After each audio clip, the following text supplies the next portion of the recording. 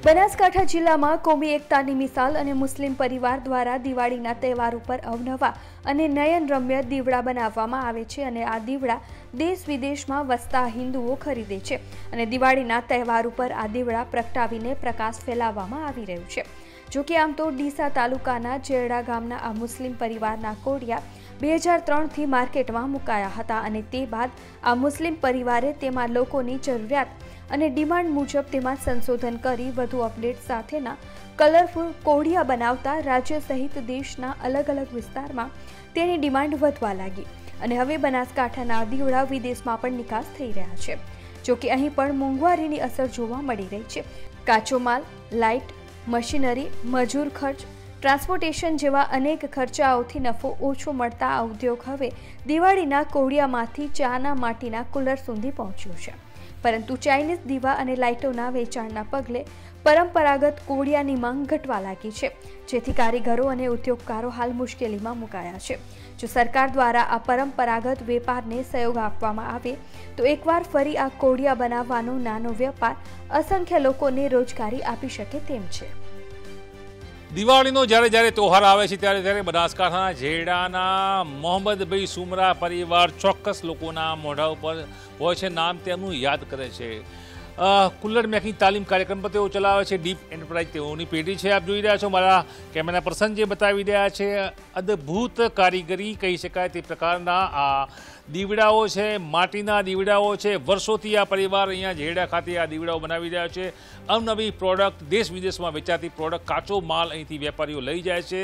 તેને કલાત્મક રીતે કલરફુલ બનાવે છે અને દેશ વિદેશમાં સુમરાભાઈ, મોહમ્મદભાઈ સુમરાના આ કોડિયા ખ્યાતનામ બન્યા છે.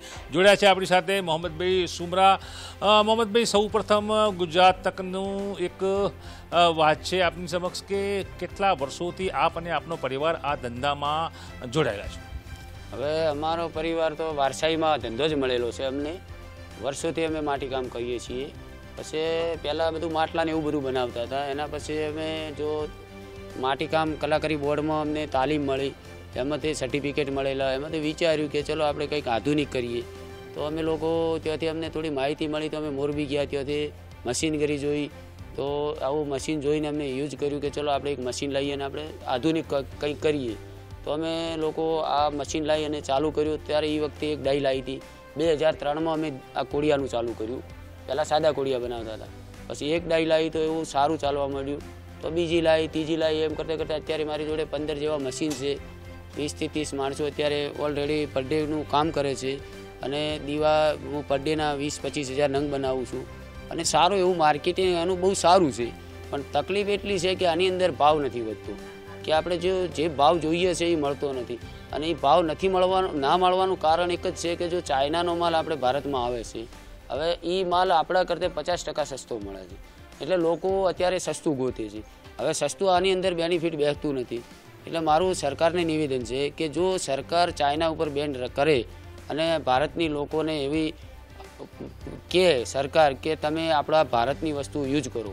તો વસ્તી જો ભારતની વસ્તુ યુઝ કરે તો બધા નાના નાના ગૃહ ઉદ્યોગ છે. એ બધા ગૃહ ઉદ્યોગવાળાને બહુ એવું ચાલશે અને રોજીરોટી પણ સારી મળશે અને આપણા દેશને, દેશના પૈસા દેશમાં જ રહેશે. એટલે મારું એવું નિવેદન છે સરકારને કે કંઈક બી કરો, પણ તમે આ જે બહારનો માલ ચાઇનાનો આવે છે એ તમે બંધ કરાવો. તો આપણે જોયું તે રીતે ચાઇના પ્રોડક્ટ દેશમાં ચલણ વધ્યું છે. હોમ પ્રોડક્ટ ભારતની પ્રોડક્ટનું વેચાણ ઘટ્યું છે. ચાઇના પ્રોડક્ટ સસ્તી, હલકી અને નકામી હોય છે જો કે હોમ પ્રોડક્ટ માટીના કોડિયા દેશની સંસ્કૃતિને છતી કરતી હોય છે. આ કોડિયા જોઈ રહ્યા છો? મારા કેમેરા પર્સન બતાવી રહ્યા છે. આ જે દીપાવલીના કોડિયા છે, દરેક ઘરમાં દીપક બનતા હોય છે, તેમાં ઘી, તેલ પુરાતું હોય છે અને રોશની જળતી હોય છે. પોલ્યુશન મુક્ત કહી શકાય તે પ્રકારની આ પ્રોડક્ટ છે. તો તો આ હતા સુમરાભાઈ, મોહમ્મદભાઈ સુમરા તરીકે ખ્યાતનામ. પોતે એક લઘુ ઉદ્યોગ ધરાવતા બનાસકાંઠા ડીસાના જેડા ગામના વેપારી છે.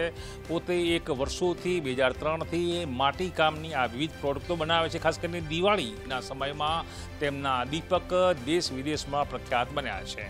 કાચો માલ રો મટીરિયલ અહીંયાથી તૈયાર કરે છે અને તે રીતે થોકમાં, એટલે કે જથ્થાબંધ રીતે વેપારીઓ અહીંથી મોટા મોટા મેટ્રોપોલિન સિટીમાં લઈ જાય છે. ક્યાંક ક્યાંક એ મેટ્રોપોલિન સિટીમાંથી આ માલને કલાત્મક રીતે બનાવી વિદેશ સુધી મોકલવામાં આવે છે અને એક કલરફુલ કોડિયા દેશ વિદેશમાં તેમના પ્રખ્યાત બનતા જાય છે. લઘુ ઉદ્યોગ મૃતપ્રાય થાય તે પહેલાં સરકારે મેક ઇન ઇન્ડિયાનું જે સૂત્ર અપનાવ્યું છે તે સૂત્ર મુજબ અહીંયા આ પ્રકારના લઘુ ઉદ્યોગોને, આ પ્રકારની સંસ્કૃતિ જીવતી ધબકતા રાખતા લઘુ ઉદ્યોગોને બચાવવા માટે આગળ આવવું પડશે. પ્લાસ્ટિક મુક્ત ભારતની જ્યારે વાત થઈ રહી છે ત્યારે સુમરાભાઈના કોડિયા, સુમરાભાઈના માટીના પ્રોડક્ટ ખાસ કરીને ઉપયોગી થઈ શકે છે તેનું ચલણ વધે તે માટે પણ સરકારે પ્રયત્ન કરવા પડશે. પરમાર, ગુજરાત તક